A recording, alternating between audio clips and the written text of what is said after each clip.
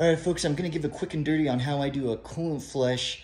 A uh, couple notes. One, stop putting green coolant in your cooling system. Manufacturers stopped doing that like 20 years ago. And two, you don't need to use distilled water. Go to any shop or dealership. We're just using a freaking garden hose. So this is what I do.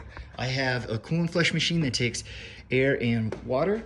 I use a large catch pin and a portable refractometer to check the freezing temp of the coolant after I perform the flush. I remove the top radiator hose here, and I remove the thermostat housing, remove the thermostat, reassemble the thermostat housing, remove the lower radiator hose, point it towards the catch pin. I'll put water through the system until everything coming out of the lower radiator hose is clear. Then I'll push air through the system, try to get as much water out as I can. Um, re-put everything back together, put a vacuum on the system, refill it with the proper coolant, pressure test, and then check for freezing temp. Hope that helps somebody out there.